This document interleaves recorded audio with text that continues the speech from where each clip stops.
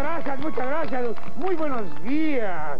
En el tema de hoy vamos a hablar de algo que muchas veces parece pesado o grueso y que nos puede cansar la vista y hasta hacer alucinar cosas. ¡Mi suegra! No, no, no, señor. Vamos a hablar del libro, el libro. Y empezaremos con una de las partes más importantes de estos libros, el índice. Miren ustedes, es el índice. Si comprenden, ¿eh, ¿verdad?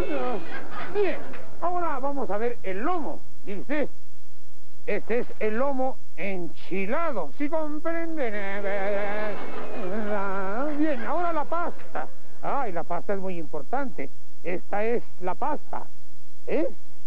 Esto es porque si tiene usted que leer en voz alta, pues para que no le ruja la buchaca. Si comprenden. ¿verdad?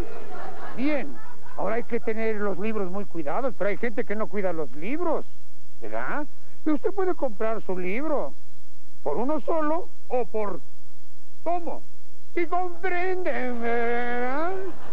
Bien, y por último les voy a mostrar lo que hace que un libro pues lleve un orden de lectura, ¿verdad? Y que lo lleve en las esquinas.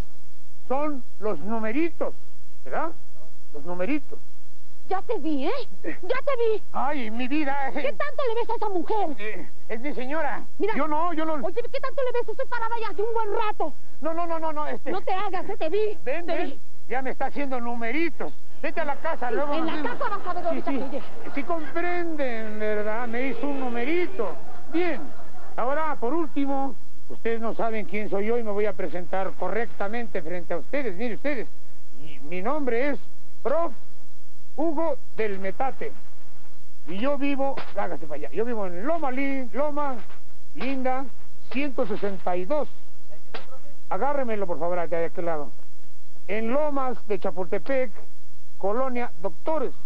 Y el número de mi teléfono todavía no lo tengo, porque es nuevecito.